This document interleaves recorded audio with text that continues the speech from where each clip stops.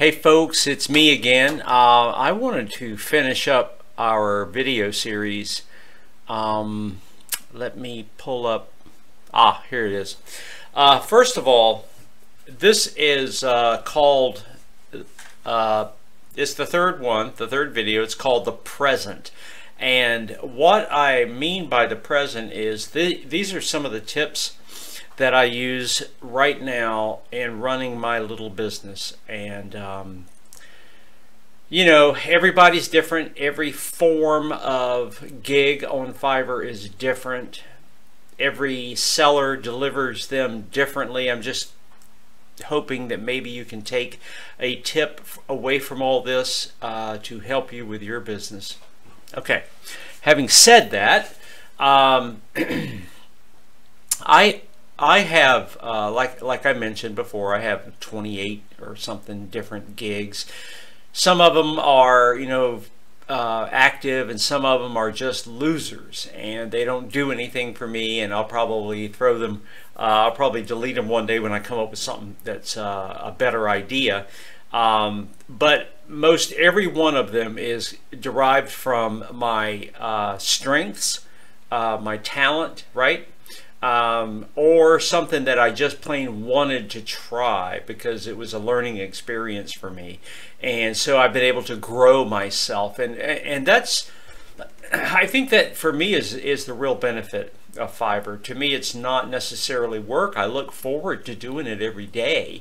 And, uh, and like I said, it's seven days a week, man. If you want to stay up with the work, um, you know, some days you'll only have one order some days you'll have no orders. Some days you'll have 10 orders. I, you know, who knows? Um, anyway, so for me, it's been, it's been a, you know, a pretty, uh, exciting, I guess, you know, fun, frustrating, horrible. Yeah, it's been all of those. Um, anyway, I'm going to give you about 15 items here. And forgive my dress. I've been out working in the yard. Uh, number one is handling your orders. Uh, the way that uh, I have found that one of the tricks for handling orders is to look at the order from the buyer's perspective. All right. Now I've been on Fiverr for a couple of years, obviously, so uh, I've had a lot of experience at this. But what I mean from that is consider the buyer. He may be placing his very first order on Fiverr with you and doesn't know what the heck he's doing. There are a lot of people out there that simply do not know how Fiverr works and so you have to be really patient with them. Uh, I have had orders that were so goofy and so poorly written in English that I had to actually uh, spend a lot of time uh, interpreting what they were trying to say, writing back to them and saying, Is this what you're trying to say? Because I don't understand you.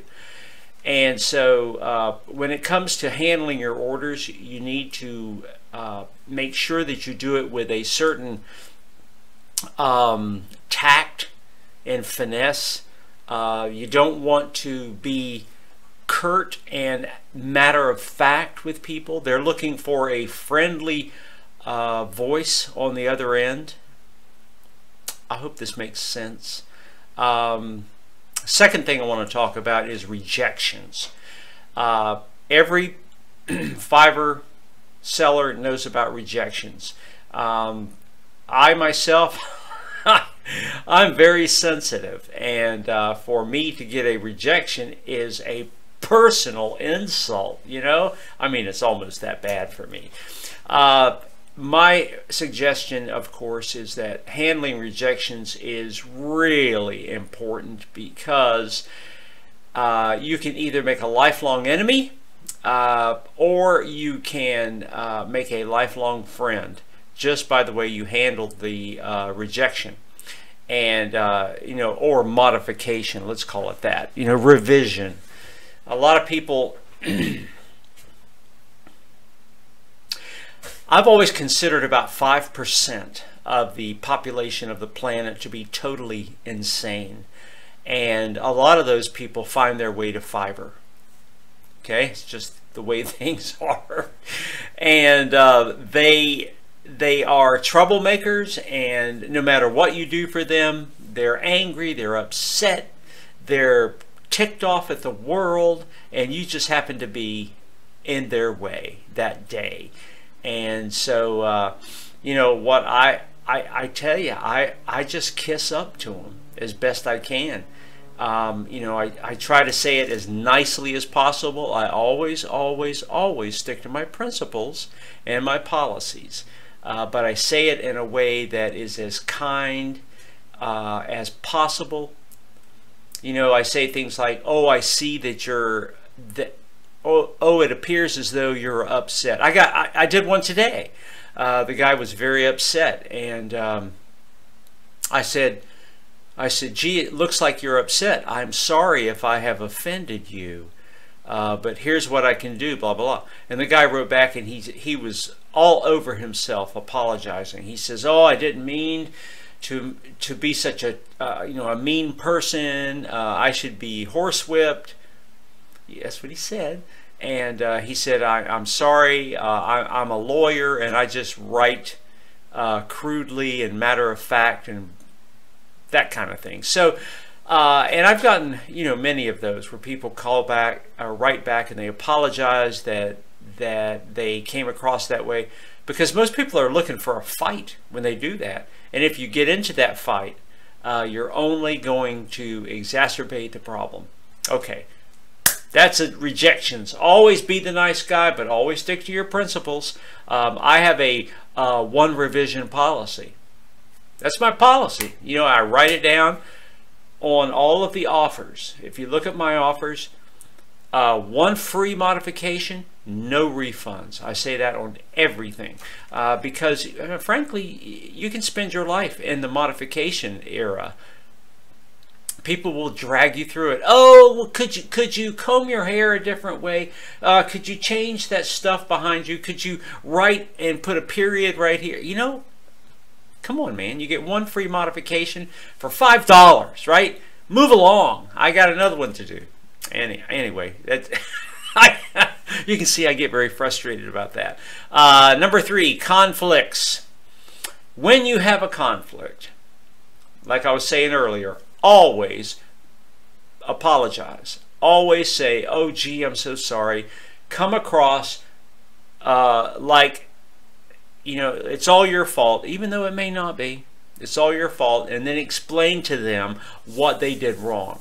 Uh, very often it is the buyer. Yes, yes, yes, it is the buyer. We all know that because they don't know what they're doing. I mean, we do this all day long, or you know, maybe an hour a day or whatever, and uh, they are just jumping online trying to find something cheap. Uh, and so we just make it easy for them, easy for ourselves conflicts are bound to arise. If you um, find that the person is being unreasonable, um, contact Fiverr support. They will help you through it. Uh, most often now, they will give you the canned response, right? Uh, oh, see if you can work with the buyer, blah, blah, blah. I've gotten a thousand of those, uh, and those are pretty much worthless because you've pretty much done that by the time you got to Fiverr support.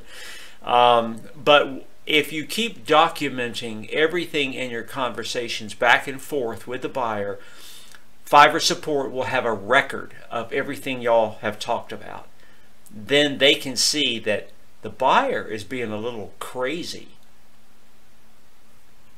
And they can be crazy. You know, it's not just you. Don't th think it's just you. Uh, anyway, conflicts will arise. Uh, try to use a little, um, little patience and a little tact, and uh, Fiverr support, and you'll get through it. And remember, always stick to your policies. Have a policy in place.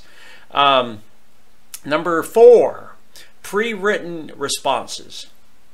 Yay! I love these. I used to have these on a sheet of paper, uh, a doc, a Word doc, right? And I'd copy them off and paste them in the response and send it out to the uh, buyer. But now uh, they're all pre-written responses, and I just have them written in there, and I just select the one I want. It's uh, a time saver, and it can help you to stick to your policy rather than trying to handle each buyer as a special case. They're not all special. Uh, you know, they're just buyers looking for information, trying to figure this Fiverr thing out, and it can be very complicated. Okay, so use the pre-written responses. Uh, you can look through mine.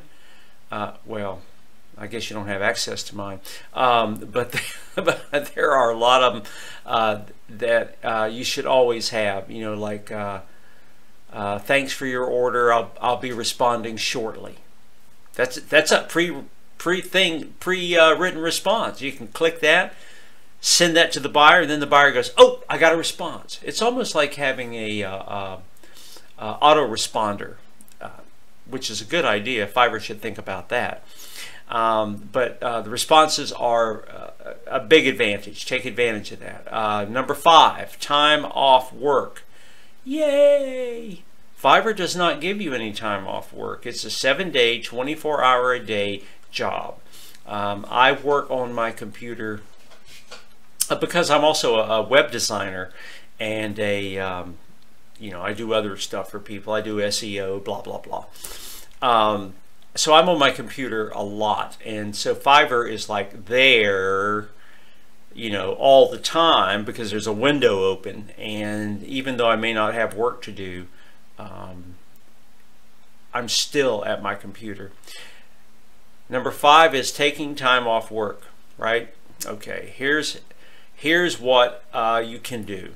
There is a vacation mode in Fiverr that allows you to uh, take a vacation. Now, I, because I'm a top rated seller and I'm, I'm, I've got that top, you know, seller rating, whatever that is. Um, I don't know if it's the same for beginners or not, um, but we can now, due to uh, Fiverr's new policy, is we can take use that vacation mode as long as we want. I didn't know that uh, up until last month. I had been taking my vacation time in little bits uh, because what the vacation mode does, as you may know, is it just pauses all of your gigs until you come back. And it used to be that you could only put it in for, you know, uh, 30 days per year. That was it. And now I understand you can go indefinitely.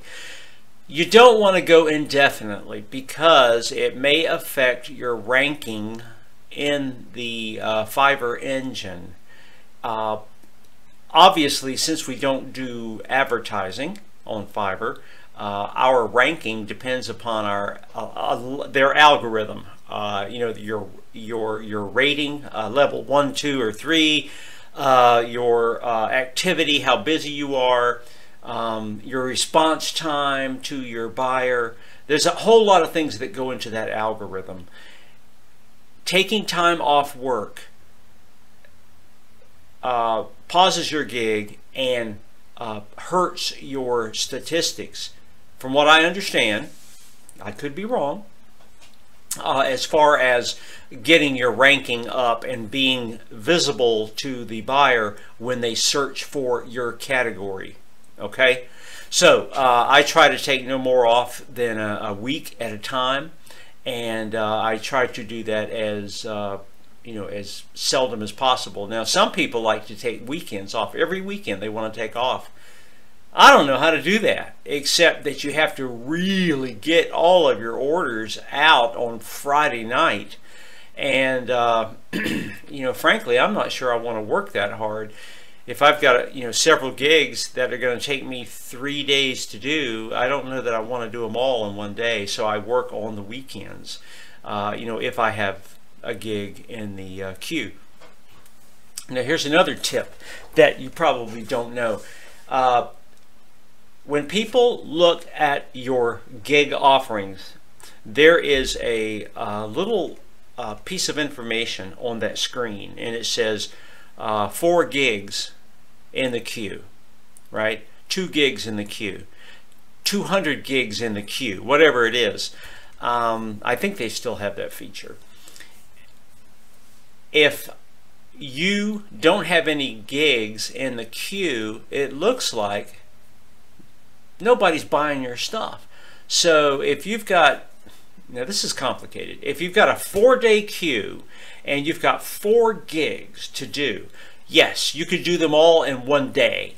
And then your, your uh, information would show that you have an empty queue for the next three days buyers coming to your gig offering will see that on the second day, on the first day, they go, wow, he's got four gigs in the queue. He must be popular. On the second day, if you've done them all, they go, well, this guy, he's not popular at all. He has no gigs. So what I do, if I've got four gigs and my clock is set up appropriately, the purchase times are set up appropriately, I will do one per day, even though I could do them all in one day because I want orders, I want that statistic to show that I am a busy, busy person. People like to work with busy people. It shows success. So uh, keep that. I don't know if you'll ever hear that anywhere else. Okay. Um, number six, answering messages. Um, I like to answer my messages uh, right now. And that's one of the reasons I uh, that while I'm at work doing my other job, I like to keep my Fiverr window open so I can see if anybody's trying to reach me. If they try to reach me and they ask me a question, I respond right now because there's nothing better at Fiverr than getting somebody to respond right now. Uh, it makes it seem like, wow, this guy's at work, he's doing his job, I know I can depend on him. Um, otherwise, if they sit there for six hours, they've already sent it off to five other people as well. As you know, there are 4 million people doing this on Fiverr. So, so uh, respond as fast as you can. Um, always answer politely. Thank them for their interest. Um, and the signature. I love the signature. Um, I have one of my pre-made responses is my signature. Uh, you know, Banjo Man 15 offering you the best and blah blah blah blah blah blah blah blah blah. And it goes, you know, it it just goes over my resume a little bit. You know, talks about my education, my experience on Fiverr, uh, how many sales I've made, that kind of thing. You know, and it it it almost doesn't matter what you say in that signature as long as you have the signature. You know, the post comment after your uh, message to them. So use that. That's really important. Um, number seven, protecting your income, uh, PayPal, and passwords. And this is important. Several times uh, in my experience in Fiverr, I have run into people who have had their accounts wiped out by thieves that somehow, I don't know how this happened, but somehow the thieves got wind of their password into their PayPal account. Now, you know, they could be just blaming it on Fiverr. Uh, they could just be blaming it on their buyers. They could, you know, it could be a freaking lie for all I know. But what I did, um, I found, I, I, thought about it and I said, you know, I keep my, uh, you know, my money, my money goes from Fiverr to PayPal, right? Then from PayPal into uh, my bank account. And so it's, it's, it's a little holding place. I don't keep much in there, uh, you know, maybe a couple of dollars. But the important thing is that you set up a, uh, a PayPal uh, account that is not tied to your email that you would be using in Fiverr or that anybody can trace you back and find your email address okay? Use a separate one for PayPal. Don't ever tell anybody what that PayPal address is. Uh, much less, much less what your passwords are. Um, a lot of people, uh, some some of the theft has been tied to uh, uh, email. The people uh, somehow got the seller to email them rather than go through the Fiverr portal. Never email directly. Never. Is against terms of service, first of all. Secondly, terms of service are there for your protection. I know this to be true, okay? Um, we used to think that it was Fiverr's way of keeping us under control so that we wouldn't buy and sell outside of Fiverr. Yeah, that's probably part of it, but now I realize the value of going directly through the Fiverr portal. Very important. Uh, Fiverr has uh, ways of finding out who the crooks are sometimes, and they will. This is wonderful. What they'll do is they'll contact me uh, ahead of time and they'll say, uh, we've seen some trouble on this account, so we're closing this account.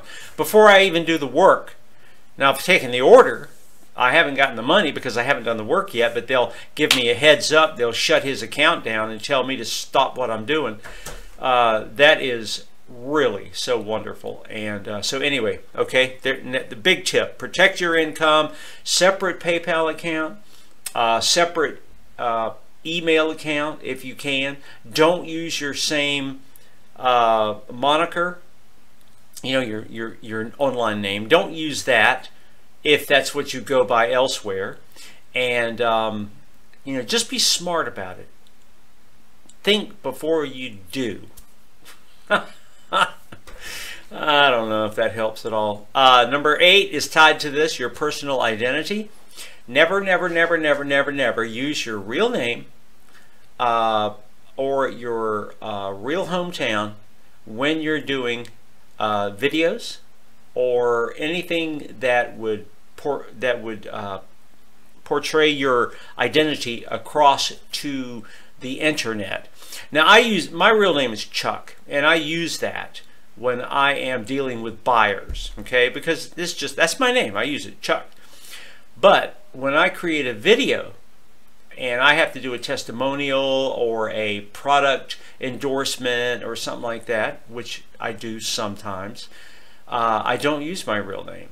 I use George. And uh, it's important for a couple of reasons. Uh, one is I don't want some stranger who I've never dealt with that lives in Arizona somewhere to track my name down somehow and then call me up on the phone and I've had them do that. Let me tell you, it's there's nothing more uh, disturbing than have a total stranger say that, hey, we saw your video online where you were uh, endorsing a deodorant, and we would like to call you on the phone.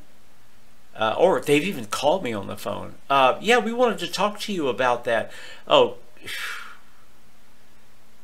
we wanted to, this happened one time. A guy called me up and says, "Hey, we wanted to talk to you about this. Uh, um, what was it? An RV dealer or something like that." Uh, to see if he's really legit. We're about to buy an RV from him. And I went, What? I didn't even remember doing the video. And I thought, Oh, this is weird because I never use my real name. Somehow they caught, tracked me down. Don't do that. Always be uh, always use an alias. Don't ever use your real name. I hope that makes sense. Okay. Uh, number nine, Fiverr support. Can't say enough good things about these guys. They don't always do what I want, but they're always doing something. And, you know, I, I, I'm the last person in the world that will tell you that I know everything about how Fiverr should be run. These guys are looking at it from a much higher position. They're looking at the big picture. Uh, I'm just trying to run my little, you know, script writing and guitar playing gig. You know, look at me. Um, and I have problems with sometimes their policies. I, I do, I do. And uh, but you know, in the long run, I think it always works. Uh, be nice to them. Don't try to push a Fiverr support agent around. You will live to regret it. Uh, they are there to help you Um, you know, I, that makes sense, doesn't it? You know, don't bite the hand that feeds you.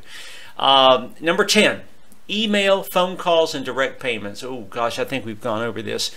Never, ever, ever give anybody your email address. On, if it's Fiverr related, don't do it.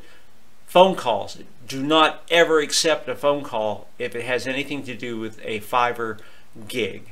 Okay? Don't give them your phone number. Don't do it. Um, uh, let's see what else. Um, direct payments. Uh, don't accept direct payments. Now, email, phone calls, and direct payments are all against Fiverr's terms of service.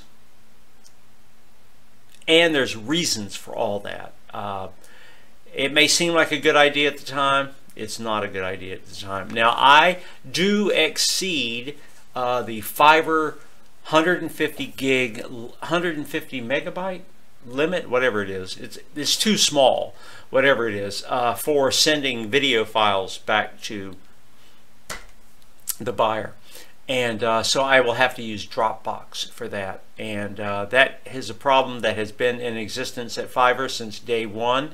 Uh, so you have to figure out a workaround on that. And Fiverr support knows that. They know it.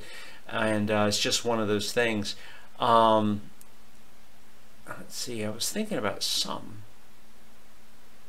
I, will think of it. Number 11, idiots. Da, da, da, da. There are so many idiots out there 5% of the world is absolutely insane and should be locked up. Okay, we know that. Uh, the you know then there's another 20 or 50 percent that's absolute idiots.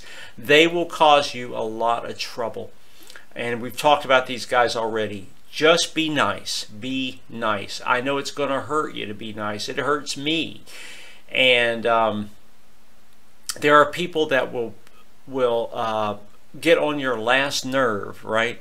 And they will push you to the limit. Um, be uh, responsive, be polite, and always, always stick to your policy. Uh, if you start coming off your policy, you're going to end up either having a brand new policy tomorrow uh, or you're going to regret it somehow. And uh, yeah, policies change you know, you may find that, that you know, your policy is, I will never respond within 24 hours. And then you may find out, well, you know, maybe I will respond, you know, in, in 30 minutes. Uh, you know, those things can change. It, it's from your experience over the years of being at Fiverr.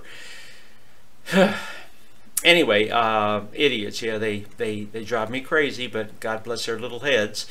Uh, number 12, ratings tips for keeping a five star rating. All right. When somebody and this is this is kind of complicated, so I'm going to try to explain this from my perspective. Ratings are uh, everything at Fiverr. If you keep a five-star rating, uh, your uh, stats are better for being found quicker. Okay, simple if your uh, buyer is giving you a hard time, uh, well, let me go back. When I send my order to a buyer, I write a letter to them. It's a short letter. And it doesn't talk about, hey, I gave you your, your order. Oh, gee, I hope you like it, blah, blah, blah. Right? Well, that's all important. But what's more important to me they get the order. They know they got the order. That's not that's not what I need to write about. What I need to write about is how I want them to respond to that order, and I tell them exactly what to do. Uh, you know, um, thank you for your order. Number one, protect your five star buyer rating. Now, buyers are being rated at Fiverr. And Fiverr, from what I understand, I could be wrong, but I understand that Fiverr is in the process and has been for years of trying to figure out, trying how to rate the buyers so that the buyers uh, will have an advantage over other buyers. Okay? I don't know how that's going to play out, but what I have done is when I send a letter back to the buyer, I tell the buyer, protect your five star rating. And these are the benefits that you're going to get with a five star rating. Uh, you know, discounts, uh, free items, you know, free promotional items from Fiverr, you know, stuff like that. And then uh, I tell them that they will not be able to enjoy any of those bonuses with less than a five star rating. And the big kicker is that their rating of me is tied to my rating of them. So that they know. I'm not trying to be, uh, you know, devious about this, but I am telling them uh, in, in no uncertain terms that their rating of me determines my rating of them. I get to rate last. So if they uh, send me a two star review instead of five, then I'm going to give them a one star review. And they know this right up front. And so uh, I don't know that it has changed a lot of things for me, but but think of the consequences. If if or the ramifications anyway. If you are a buyer and you see that, oh my gosh, I didn't know I could get free stuff.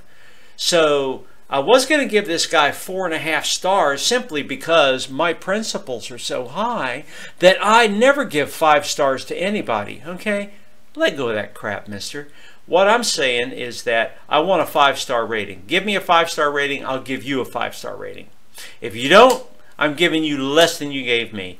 And so their motivation is that, well, gee, if I get five stars, I was going to give him four and a half, but what the heck? I'll give him five just to keep my rating higher.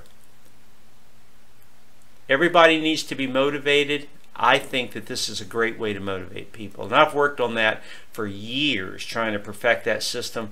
I think that it will pay off uh, wonderfully for you as well. And then, you know, just that's a policy now. That's your new policy. Stick to it. Okay. Um, Number 13, response time. Uh, I think we talked about that already. Uh, respond to a first contact as quickly as possible. Uh, you see the little clock that's beside the message on the Fiverr portal. That clock means something. You're being you're being watched. Fiverr's watching you. So uh, try to respond quickly. Um, don't uh, 14. Here's a good one. 14. Do not look at other people's success. There are friends of mine um, at Fiverr who make uh, $100,000 a year selling little tiny $5 gigs. How is that even possible? Every time I hear from uh, these people, um, it just it just irritates the living crap out of me. You know, I mean, I don't make hardly nothing compared to what that those people are making. And there are a lot of them that do it. And so it's important for me to look at myself, my talents, my gigs, my services, my quality of delivery, and realize that this is for me that's that's for those guys over there. You know, they're doing a whole different scenario than I'm doing. You know, they don't do my videos or script writing or guitar playing. And granted, their market is much much bigger than mine. Uh, but they make a hundred thousand dollars a year. I am stunned when I see those kinds of figures because it's it. I don't even know what a hundred thousand dollars looks like. Uh, so anyway, uh, that is 14 tips on the present. Uh, now, two or three of these that I gave you, uh, you simply will not find anywhere else. Uh, they're my inventions, my inventions. They're my creations uh, as far as how I run my business. Um, your business, remember this, this is so important. Your business is your business. Don't let other people tell you how to run your business. Um, that's what being self-employed is all about. And I wish you the very best. And uh, I'm sure I'll be talking to you later. All right, bye for now.